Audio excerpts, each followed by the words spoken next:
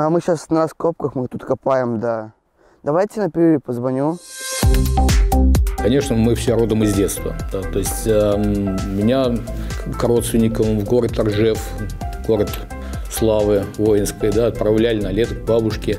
А там эта тема Великой Отечественной войны, она ну, очень сильно звучит там и в окружающем пространстве, и в людях, и в памяти народной. Это площадной поиск с металлодетектором. Э, ребята, патрули э, ходят по двое, один с металлоискателем, другой с лопатой, обследуют, где какой подъемный материал находится, который нам говорит о картине боя. И э, когда мне исполнилось 18 лет, я принял решение, что надо вообще-то в городе Одинцово э, создать свое подразделение, которое будет точно так же, тем более, что какой-то опыт у меня уже э, имелся поисковой работы. И такое подразделение было создано в 1997 году поисковый отряд «Китиш» был сформирован. То есть я пригласил ближайших соратников, э, друзей, знакомых, с кем учился в школе, с кем учился в Академии Тимирязевской. И такой первый коллектив, он, в общем-то, был сформирован и начал ездить в экспедиции поисковые в Одинцовском, тогда еще районе, Русском районе. И начались вот ежегодные экспедиции.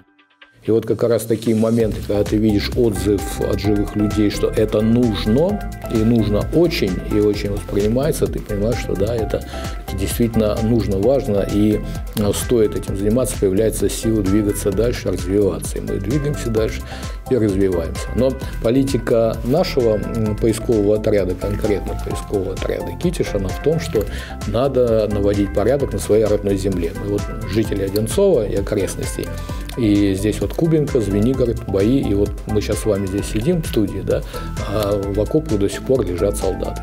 Поэтому э, каждую весну и конец лета у нас экспедиции на несколько дней.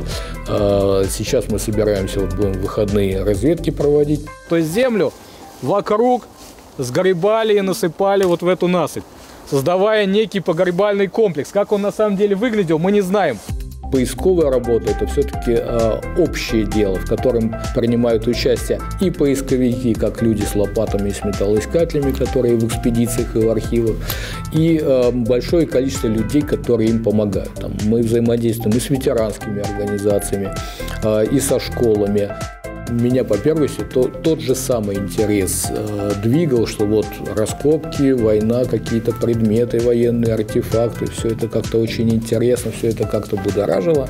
И вот э, такой щелчок э, сознания э, с этого интереса какого-то исторического, краеведческого, кладоискательского на именно увековеченной памяти и восстановление исторической справедливости, он произошел, когда вот э, человеческие кости, они были найдены.